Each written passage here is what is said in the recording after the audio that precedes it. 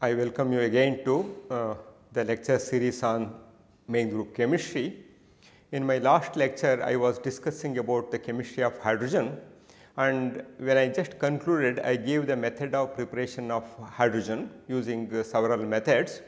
And now let me discuss the method of preparation of uh, deuterium or uh, deuterium uh, compounds such as water D2O that is also called heavy water. So, industrial production of deuterium is from ordinary water. That means uh, as I mentioned the ocean consists of 99.9 percent of water that is H2O and 0.02 percentage of D2O and this is the major source of D2O and separating out the heavy water from ocean water is carried out by two methods that is called Girdler sulfide process and distillation and few other methods are also have been employed. Okay. So, the Girdler sulfide process or Geib-Spevack process is an industrial production method for filtering heavy water from natural water and of course, uh, several compounds of course, the major source of deuterium compounds is essentially D2O. Using D2O several other compounds have been made. For example, uh, let us consider uh, the reaction between calcium carbide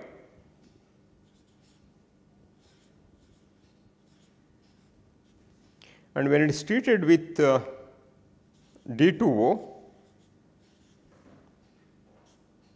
it forms deuterated acetylene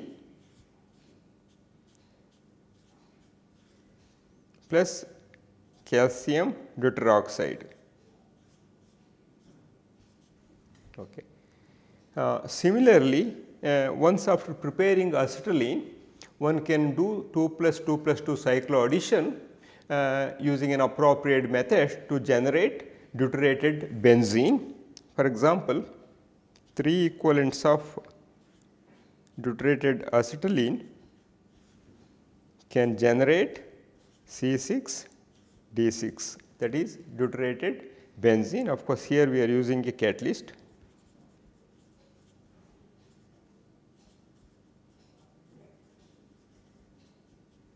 Okay. And lithium nitride is also very reactive and it undergoes readily hydrolysis to form lithium hydroxide and ammonia. So, that method is also used here. Lithium nitride on treatment with uh, D2O readily forms lithium deuteroxide plus ND3. That means, if you want to make uh, deuterated ammonia for some experiments one can conveniently prepare by uh, treating lithium nitride with D2O. And one can also make several other compounds such as DCl, D2SO4 or D3PO4 using appropriate reaction conditions and appropriate starting compounds along with D2O as the major source of deuterium. So, let us look into the chemistry of hydrogen with this information. Let us look into the chemistry of hydrogen and hydrogen uh, exists in the form of a dimeric species we all know and here HH bond dissociation energy is plus 436 kilojoules per mole. It is unreactive at room temperature but in the presence of a catalyst or at higher temperature, it reacts with most of the elements in the periodic table. In fact, at higher temperature it reacts violently with oxygen to form H2O and atomic hydrogen is highly reactive and hydrogen is capable of combining with nitrogen, oxygen and chlorine to form covalent hydrides. Okay. And atomic hydrogen can be produced by passing an electric discharge through a low pressure of hydrogen. Okay. That means, uh, one can pass an electric discharge through a low pressure of hydrogen molecule to generate atomic hydrogen. Atomic hydrogen is very very reactive and when it combines with other elements it usually forms three type of chemical compounds. That means we know the fact that it can lose an electron to form H plus or it can gain an electron to form H minus or it can share the electron with other element to form a covalent bond. Okay. So, that means uh, for example, uh, when you remove that electron, ionize that electron it forms H plus which has no chemical existence that means it cannot exist in its free form similar to several other cations, but it is always solvated due to its extremely high charge density. For example, the moment H plus is generated, it readily combines with water if it is an aqueous medium to form H3O plus. Okay. So, it can also share an electron with many other elements to form a covalent bond and it can gain an electron to form the hydride H ion H minus species and attain 1s2 electronic configuration which is essentially isoelectronic with immediate noble gas helium. So, these are the three important type of compounds. It can form H plus, it can form H minus or it can share an electron to form a, a covalent bond. Let us look into the electron affinity. Okay. Uh, for hydrogen it is minus 69 kilojoules per mole and whereas in case of chlorine it is minus 369 kilojoules per mole. And let us look into the bond dissociation energy of uh, uh, several other compounds. HH I mentioned it is 436 kilojoules per mole. In case of chlorine it is 242 kilojoules per mole and in case of uh, CH bond it is 414 kilojoules per mole and NH bond dissociation energy is 391 kilojoules per mole whereas OH bond dissociation energy is 460 kilojoules per mole. So, that means uh, elemental hydrogen is a very good reducing agent. It can reduce many metal oxides to metals and in all such cases H2O is essentially the byproduct and also hydrogenate many unsaturated organic compounds containing C double bond, C triple bond or C double bond O to the corresponding saturated analogues. That means essentially it can reduce either C triple bond C or C double bond C or CO to the corresponding saturated compounds and compounds produced on combining element hydrogen with an element are essentially called hydrides. That means whether H minus, H plus or it is forming a covalent bond such compounds are essentially called as hydrides.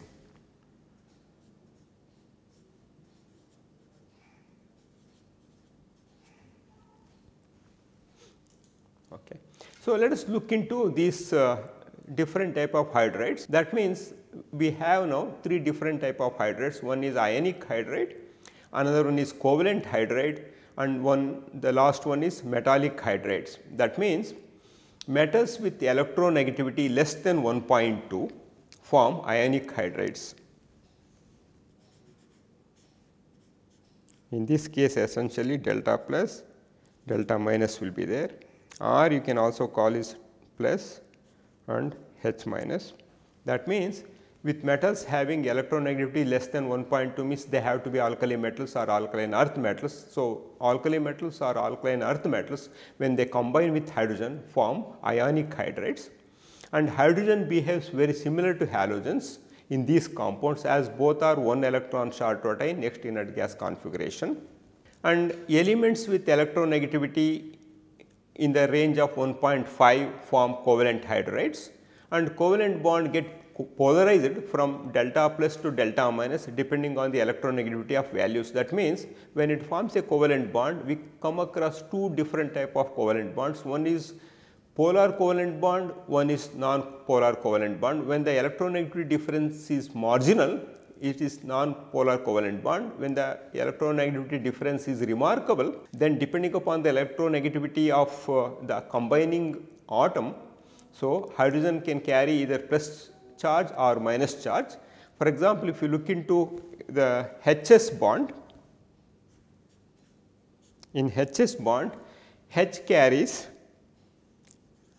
delta plus charge because sulfur is more electronegative and whereas in case of BH hydrogen is more electronegative as a result H carries minus charge and similarly in case of gallium hydride also H carries negative charge.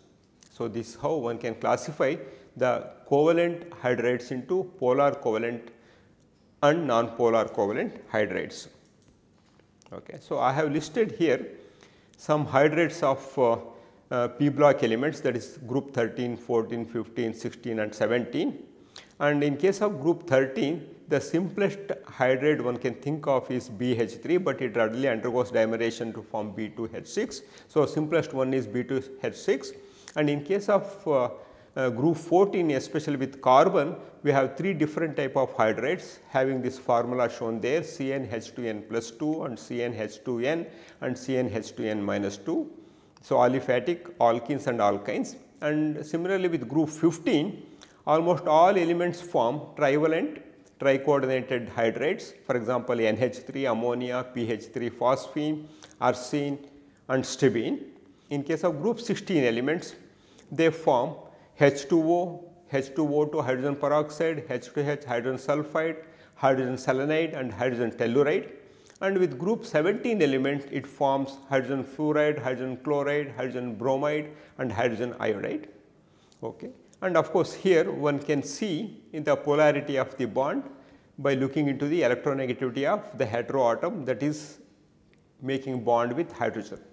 And, and here I have listed some common molecular hydrogen compounds and their traditional names.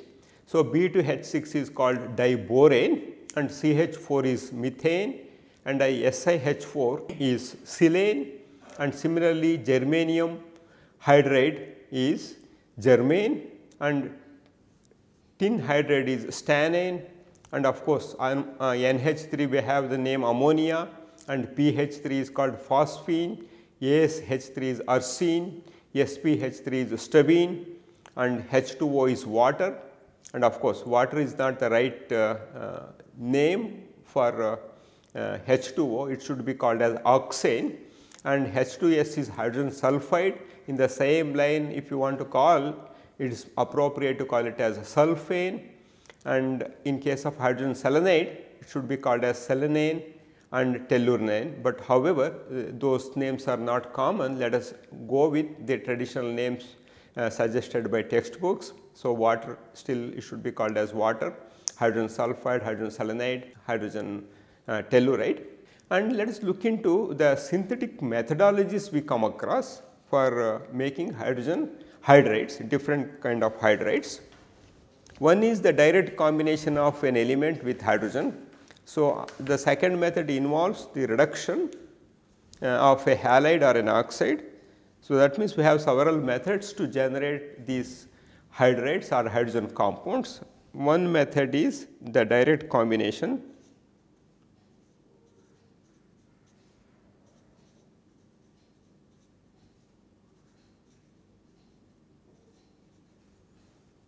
The second method is reduction of a halide.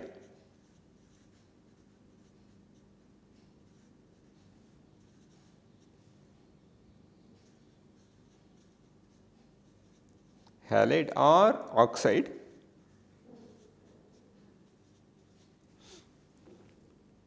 Hydrolysis of compounds such as metal phosphide, carbide, silicide and boride. Hydrolysis of metal. Metal phosphide will give you phosphine, carbide will give you hydrocarbon, silicide will give you silane and boride will give you borane. Okay. So, another method is interconversion of hydrides.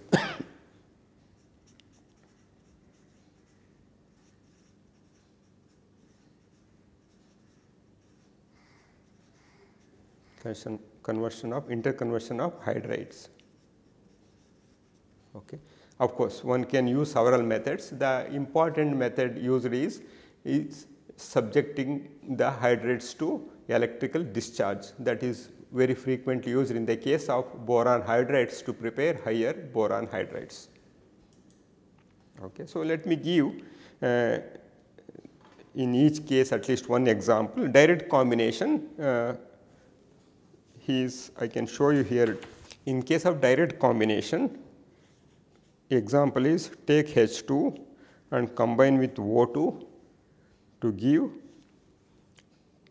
2H2O or take H2 combine with Cl2 to give 2HCl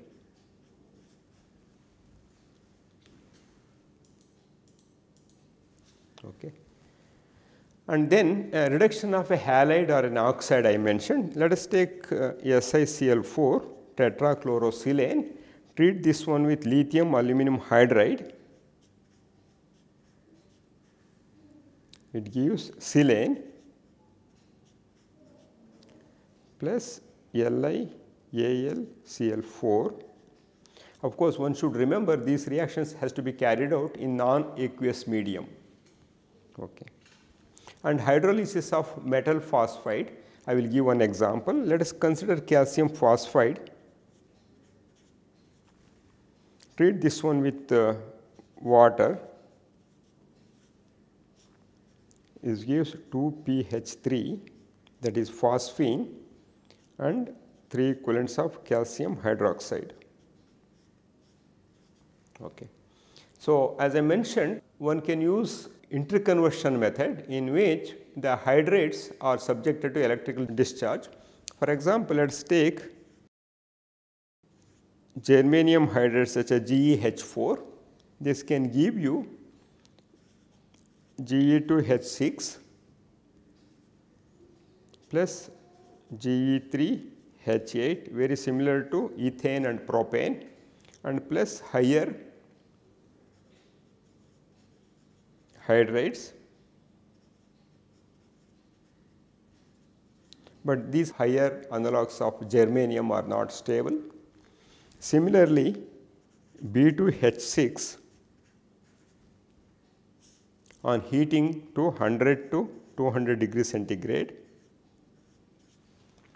it gives B4 H10 plus H2 for example, you take 2 equivalents. And similarly uh, instead of heating 100 to 100 200 degree if you heat it to, to 20 degree centigrade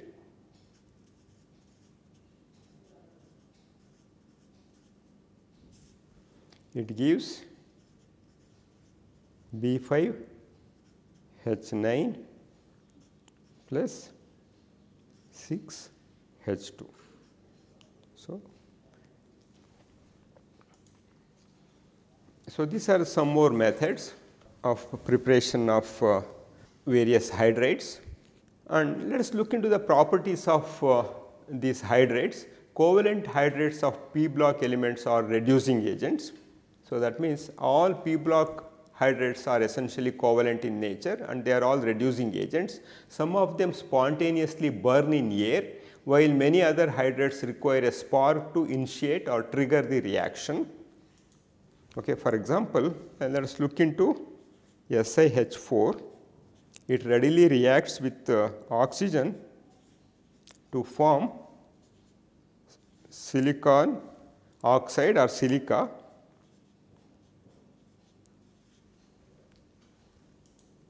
whereas CH4 does not readily react, but uh, with a spark it readily reacts with oxygen to form CO2 plus H2O. We looked into the properties of covalent hydrates and ionic hydrates. Let us look into metallic hydrates, elements such as transition metals and also lanthanides and to an extent actinides absorb variable amount of hydrogen to form non-stoichiometric metal hydrates which retain most of the properties of the metals example hardness, conductivity and luster. However, they become little brittle in nature. So, in these hydrogen occupy interstitial tetrahedral sites in a closed packed metal lattice. So, lanthanides can also take up hydrogen in octahedral sites giving ionic MH3 phases.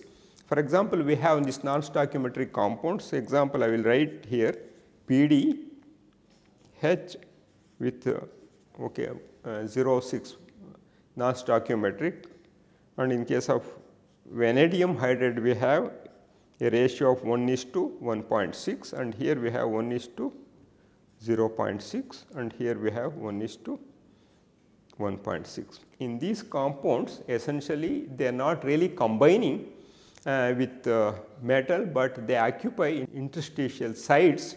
Uh, they can be the tetrahedral or octahedral depending upon the metal with which it is combining. And let us look into the compounds containing H plus ion. Removal of lone electron from hydrogen atom gives H plus ion. That means once the, the lone electron present in 1s orbital it is ionized, it generates H plus and conversion of H2 into gas phase that is H plus requires a large amount of energy. It is not very easy. So, let us look into this equation here.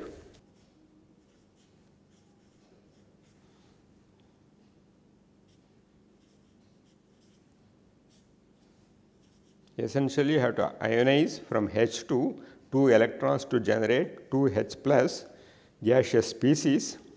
The enthalpy of this reaction is very high that is equal to 3054 kilojoules per mole.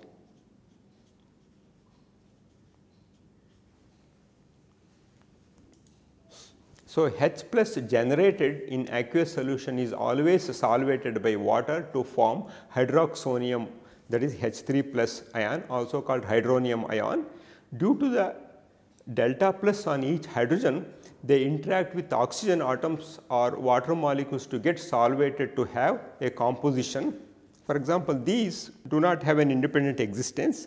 This H plus does not have an independent existence as a result what happens the moment it is generated in aqueous medium it readily combines with H2O to form H3O called hydronium or oxonium ion.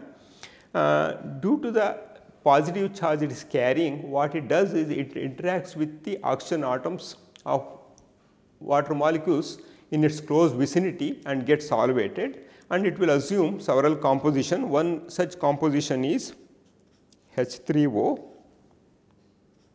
H2O 3 plus plus or it can also be written as H9 O4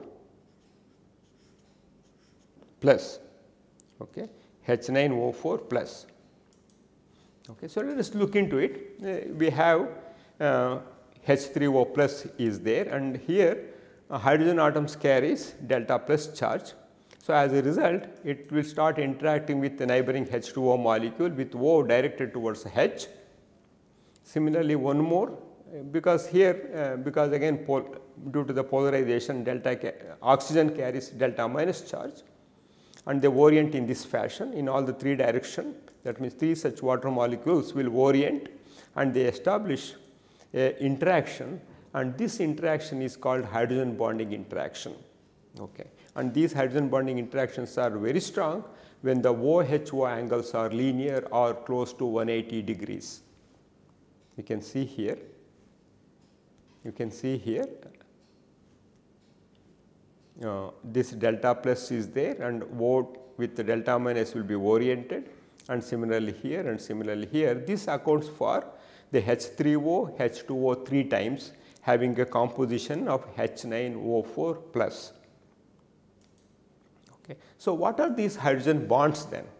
Uh, you can see here this H2O is there and another H2O orients in this fashion uh, to establish a bonding here and this is called OHO, this is called hydrogen bonding interaction and as I mentioned this hydrogen bonding interaction is very strong when this angle at H is 180 degree or linear. Okay. So, when that happens Okay. When hydrogen is bonded to the highly electronegative elements such as fluorine, oxygen, chlorine or nitrogen, there exists a secondary interaction due to the partially charged ions exist in the mixture that means delta plus and delta minus. So, partially positively charged H and partially negatively charged electronegative atoms start interacting to establish hydrogen bonding. This hydrogen bonding is very strong when we have fluorine and oxygen and to an extent in case of chlorine and nitrogen. So, remaining elements do not have any inclination to establish hydrogen bonding and even if there is any hydrogen bonding is there with sulfur and uh, uh, hydrogen, they are very very weak and they can be ignored for all practical purposes. The most strong hydrogen bonding we come across when hydrogen is in the vicinity of fluorine, oxygen, chlorine or nitrogen. Let us look into the trends in melting point and boiling point for p block binary hydrates. So, generally the melting and the boiling points of a series of related molecular compounds increases with increase in the molecular size owing to an increase in intermolecular dispersion forces. This is seen for example, along a homogeneous series of alkane. For example, you take methane, ethane, propane, butane and pentane. Both methane and ethane are gases and propane and butane are also gases, but pentane is a liquid, low boiling liquid and also the boiling point increases. So, here intermolecular dispersion dispersive forces increases with the increase in the size because more such sites are available for interaction.